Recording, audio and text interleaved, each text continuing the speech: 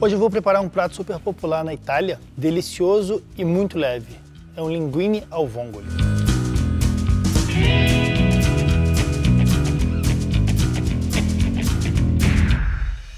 Para começar a minha preparação, a minha água já está fervendo. Ele vai cozinhar o nosso linguine muito mais rápido e vai manter a temperatura por mais tempo. Então vamos começar cortando a pimenta bem fininha.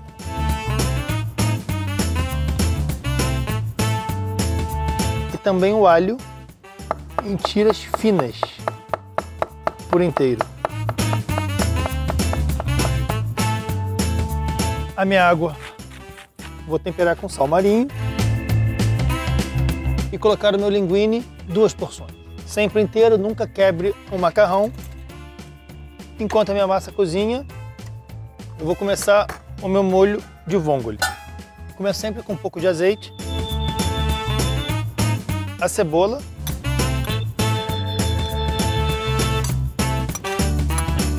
O alho com a pimenta cortadinha. E eu vou deixar dourar. Bom, os meus legumes já estão ficando transparentes. Vou entrar com a vongole.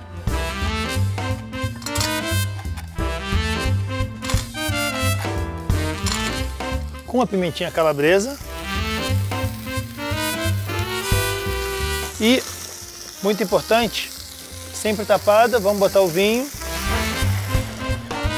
As panelas inox, normalmente, a gente trabalha em fogo baixo. Mas como eu estou trabalhando com vongole e eu quero um cozimento um pouco mais rápido, eu estou trabalhando de fogo médio para alto. Eles, você pode ver aqui que eles já abriram quase todos, significa que já estão chegando ao ponto bom do cozimento. Eu agora vou abaixar mais o fogo e vou terminar o meu molho. Uma colherzinha de manteiga. Limão siciliano.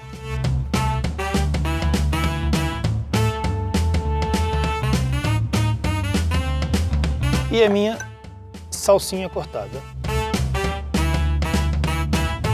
Um pouco de pimenta do reino. E agora o meu linguine que eu posso pegar direto, que as alças estão frias, ainda com um pouquinho de água para ajudar no meu molho. Falta um pouquinho mais de cozimento, mas eu tiro para deixar ele acabar de cozinhar dentro desse molinho, que ele pega bem o gosto e fica perfeito. E para finalizar agora, que já está a pasta tudo cozida ao vongole, olha isso, gente. Vamos empratar. Não sei se vocês conhecem essa técnica. No canto da frigideira, dá uma enroladinha.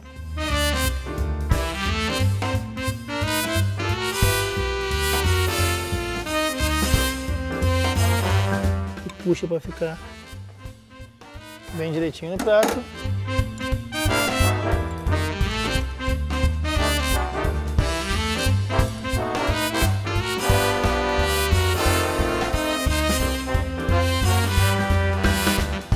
Para finalizar, vamos botar uma farofazinha de alho com pão.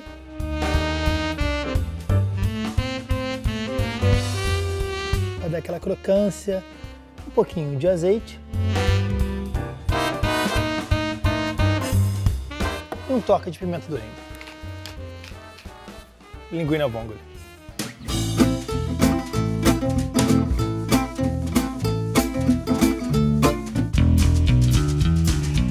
Fala pessoal, quem assistiu a minha final viu que eu fiz um fricassê de cogumelos. O prato que a gente vai preparar hoje é bem parecido. Fricassê de legumes. Fica de olho.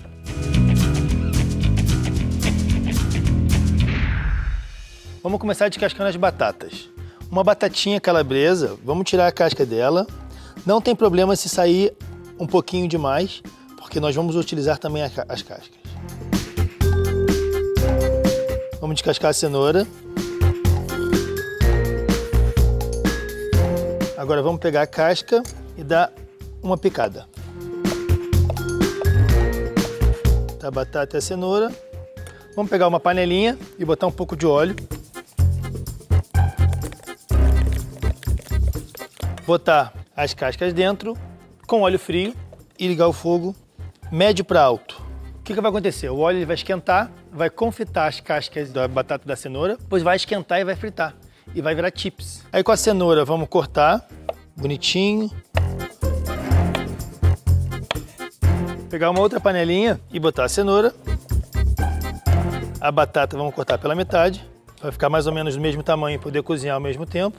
Botar no fogo com um pouquinho de azeite. Sal e uma colherzinha de manteiga. Para esse tipo de cozimento é muito importante que seja fogo médio para baixo e a panela esteja sempre tampada. Agora vamos pegar a beterraba e cortar bem pertinho, pegar as folhas e cortar não tão fina. Aí quando vai chegando mais perto do talo, aí começa a ser mais fininha, que o talo é meio fibroso. Aí vamos reservar ela. Vou botar o aqui primeiro. Agora pega a beterraba, corta ela ao meio.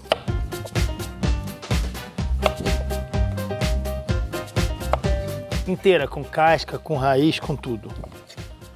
E vamos cortar ela fininha. Numa panelinha, vamos fogo médio. Um pouco de azeite.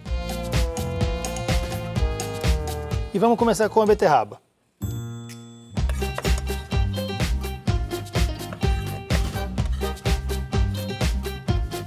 Um pouco de sal, pimenta. Aí vamos pegar os cogumelos, cortar o talinho dele, até que ele fique em pezinho. O que, que eu faço com o talo? Vai com a beterraba. Agora vamos cortar ele em quatro. Ficar bonitinho.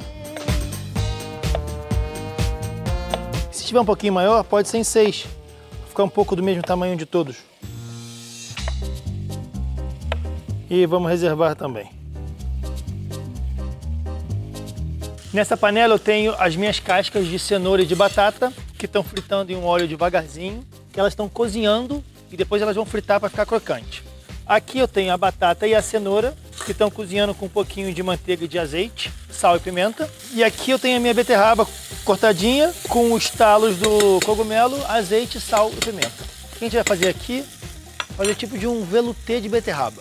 Já deu uma suada, uma cozinhadinha nela, vamos botar um pouco de água, não muita, que nem água a gente quer desperdiçar e vamos tapar. Ela vai cozinhar bem mais rápido e vai ficar pronta no mesmo tempo que todas as minhas outras preparações. Agora vamos pegar o nosso aspargos. Eu pego ele por inteiro, seguro embaixo e quebro. Onde ele quebrar é que tá bom. E quando o produto é fresco, você escuta ele estalar, ó. Esse aqui eu separo para um caldo de legumes, para alguma coisa que eu possa fazer depois. E o resto eu vou cortar pequenininho tamanho do fricassê que eu quero. E vou reservar também junto com o meu cogumelo, porque ele vai entrar junto. E a cebolinha, a parte de baixo dela, eu vou cortar fininha.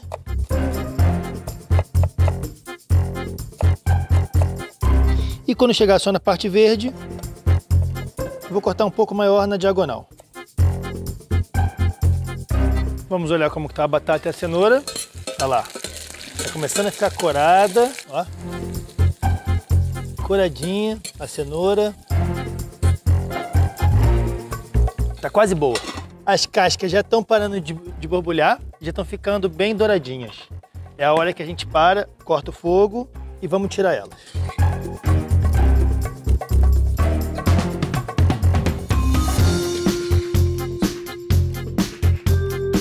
Tirou, o que a gente vai fazer? Pegar um pouquinho de sal Sempre que tirar alguma coisa de uma fritadeira, bota um pouquinho de sal. As batatas já estão cozidas, as cenouras também.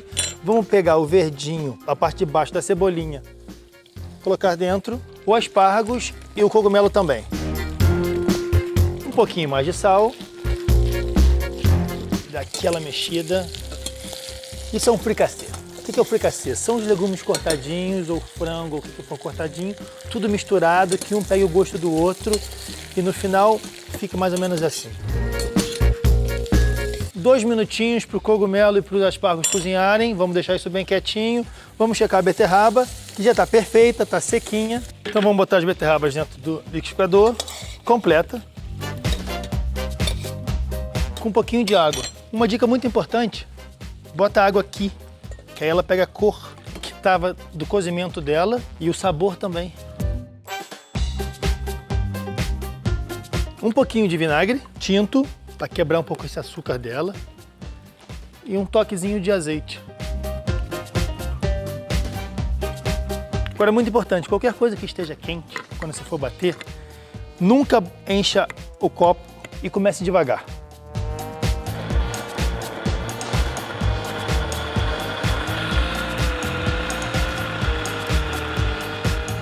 Tá aqui o veluteiro. Vamos reservar e o resto guarda na sua geladeira que depois você pode tomar como uma sova, como que for. Numa panela com um pouco de água e sal, água quente e sal. Vamos fazer um rodamuinhozinho. Ovo pochê. Essa receita ela foi, foi feita já. Caso vocês tenham dúvida, a gente já tem um vídeo aqui no canal, é só acessar o link aqui. Ó.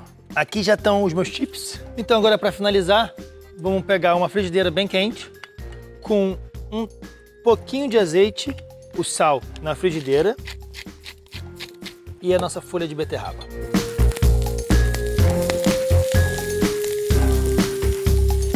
Um pouquinho de pimenta do reino. E vamos cozinhar ela por um minutinho, só para dar uma caidinha mesmo. Chegou, tá bom? Agora apagamos o fogo. Aqui estão os meus legumes fricassê. Aqui eu vou botar a metade da minha cebolinha dentro. Agora vamos empratar. O verde da beterraba no fundo do prato. Pegar o nosso velouté de beterraba. Olha a cor disso, gente. É fluorescente. Botar em volta. Botar o ovinho bem no meio. E os legumezinhos em volta. A cebolinha.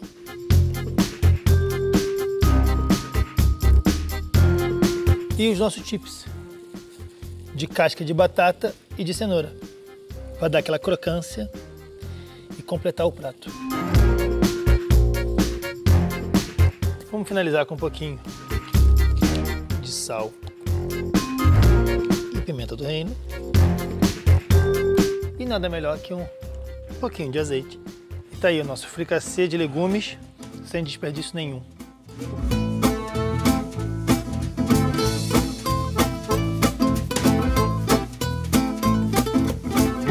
O risoto é um prato clássico da cozinha italiana. Hoje eu vou preparar um risoto ao fungo e dar dicas de como fazer um risoto perfeito e no ponto ideal.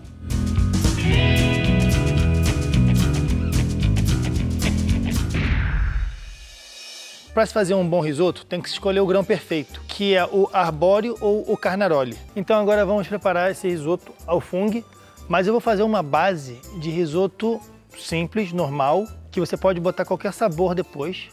E no final só que eu vou adicionar o fungo. Então vamos botar um pouquinho de azeite na frigideira já aquecida, adicionar uma cebola e vamos suar bem ela até que ela esteja bem translúcida. Pronto, uma vez que a cebola esteja transparente, adicionamos o arroz Vamos só ele um pouquinho também.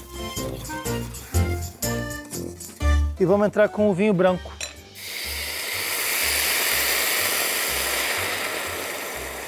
Ou podemos usar também qualquer outro tipo de suco de limão, ou de laranja, ou uma raspa de laranja. Isso vai ajudar muito que o amido saia e ele cria essa cremosidade bem grande que ele já tem. Vou diminuir um pouco o fogo e conforme ele vai secando, eu vou adicionando o meu caldo de legumes uma concha por uma concha e vai mexendo nele.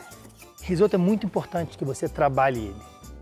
Você tem que ser amigo dele para ele ficar bom. Você tem que realmente dar uma atenção, estar tá ali com ele para criar bem essa cremosidade, fazer que o amido saia e que no final você tenha um risoto al dente, mas ao mesmo tempo muito cremoso. Uma vez que ele vai evaporando, você vai botando concha, até que ele chega num ponto. Cada pessoa tem o seu ponto correto. O meu é quando ele está meio crocante, você ainda consegue ver o branquinho dentro. Mais uma concha e a mesma coisa. Vamos mexer.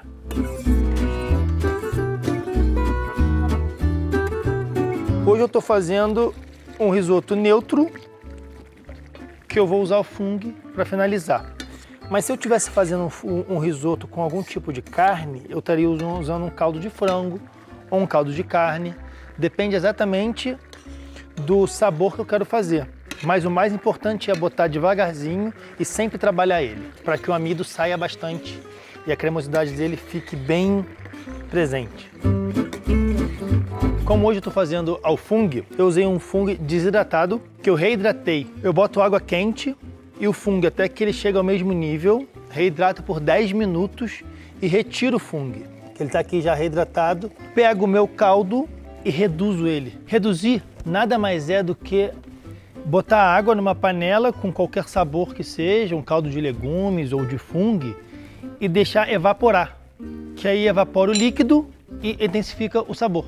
Não reduza com o fungo dentro que você vai cozinhar demais. Separe e reduza o caldo. E eu vou finalizar com ele.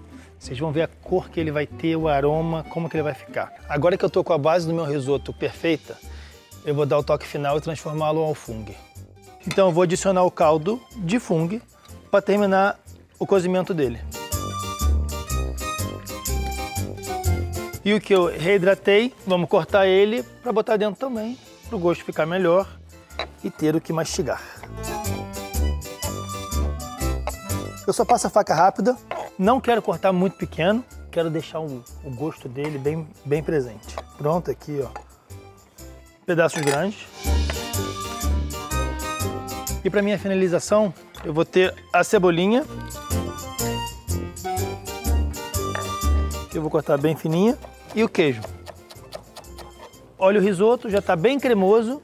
Você pode ver que o arroz tem uma cremosidade imensa. Isso aqui você não conseguiria se o produto não fosse de altíssima qualidade. Com o fogo desligado, eu vou adicionar a manteiga gelada e colocou a manteiga, é hora de trabalhar. Agora não pode parar.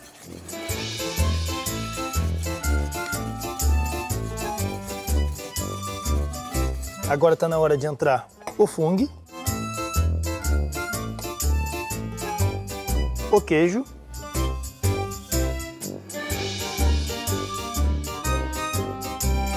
e um pouco da cebolinha para dar o gosto no risoto.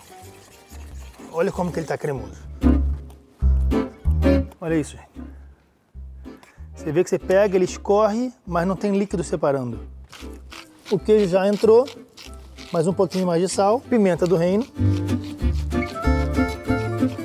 Agora chegou o grande momento de empratar.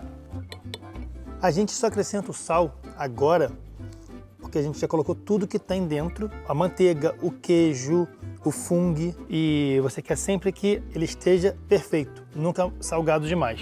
Eu adoro finalizar com queijo de último minuto, um pouquinho de cebolinha e o risoto ao fungo. Use a sua criatividade e experimente.